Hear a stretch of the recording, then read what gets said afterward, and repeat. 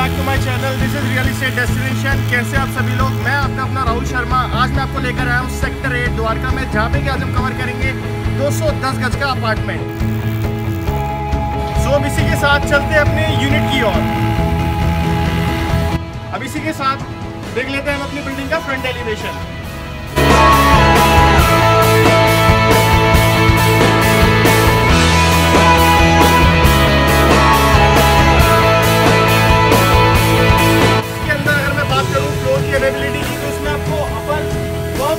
Second floor मिल जाता है एंड टॉप फ्लोर इसका सोल्ड आउट है।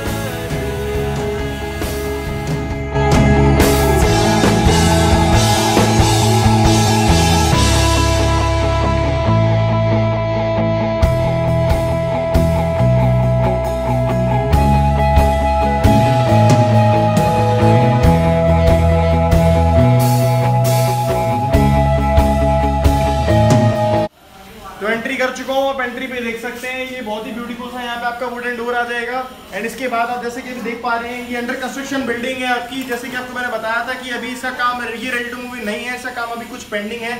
आपके सामने आप देख ही सकते हैं, इसका टॉप फ्लोर अभी सोल्ड आउट हो चुका है। नीचे के तीन जो फ्लोर है, वो अभी इसमें आपको बस मिलेंगे।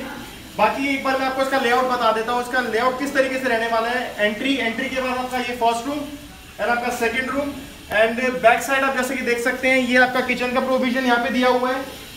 यहाँ पे ये आपका किचन का प्रोविज़न रहने वाला है। यहाँ पे आप जैसे कि देख सकते हैं, आगे आते हुए कैमरा मैन एक बार थोड़ा सा। यहाँ पे किचन का प्रोविज़न आ जाएगा। एंड इसके बाद ये आप साथ में देख सकते हैं, ये आपको यहाँ पे मिलेगा कॉमन वॉशरूम का ऑप्शन यहाँ पे आप एंट्री करके, ये भी आपका यहाँ पे एक रूम दिया हुआ है। तो ओवरऑल ये आपका थ्री बी के है आपका ये। ये आपका बहुत ही स्पेशियस सा, ये आपका लिविंग एरिया रहने वाला है। बता रहा हूँ। डेफिनेटली ये बिल्डिंग रेडी होने के बाद बहुत ही ज़्यादा ब्यूटीफुल दिखने वाली है। और ये आप जैसे कि देख सकते हैं आपका लिविंग एरिया फॉल सीलिंग यहाँ पे भी काम अभी चल रहा है सब चीज़ों का। अब आपको एक बार बैल्कनी का ऑप्शन मैं दिखा देता हूँ।